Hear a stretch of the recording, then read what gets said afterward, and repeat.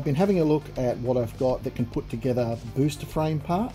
The original piece, the hexagonal piece that goes across the top there, those two pieces, were originally made out of pencils, believe it or not. Um, and the rest of it is sort of a little bit of an unknown entity in terms of the assembly of it.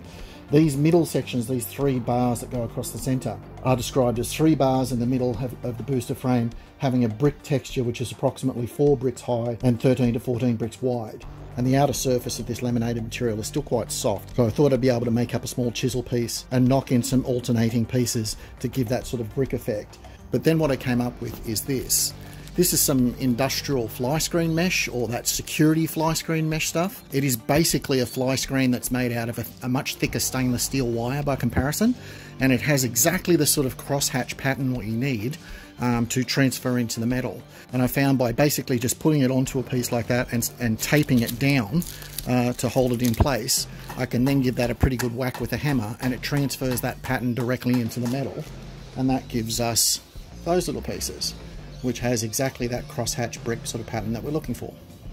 I tried that same technique by using a piece of stainless steel wire and sort of hammering it into the surface and it did give me a nice well-defined line. So I moved on to clustering some together to see if I could get the effect that I'm after and it kind of worked. There was sort of a pattern that was sort of transferred in there but it's nowhere near as deep as what I wanted and it's not as well defined as I would have liked it.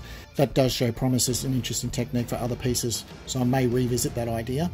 But in the end what I found is that it was much easier to use the rods themselves directly and cluster them together and space them out in such a way that they attach directly to a piece that I could put a bevel on and then backfill it with the epoxy putty which holds it in place and once it's cleaned up it gives that nice up and down ridging that we're after.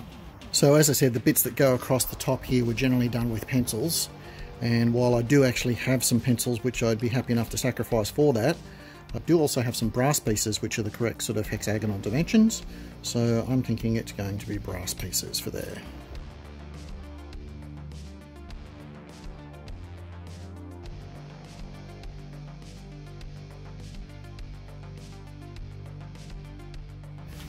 When it comes to these plans, the bumper is probably the most complicated of all the shapes that I have to make up.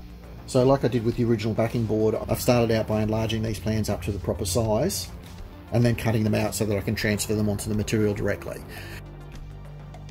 The difference is, is I need two of each piece. So I'm going to use the spray glue in the same way as I did before.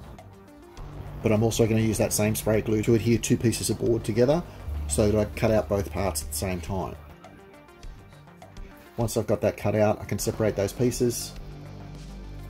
Do the same thing with the dividing piece, cut them into the individual pieces that I need, and that'll give me this. As I said, it's a pretty complicated shape, but all in all, it's come together quite well. It'll still need some individual touch-ups here and there with some filler, but that'll also be true of all the other individual parts as well.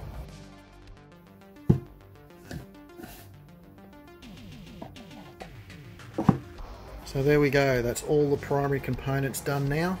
From here what I want to do is tie the larger component pieces into one continuous shell.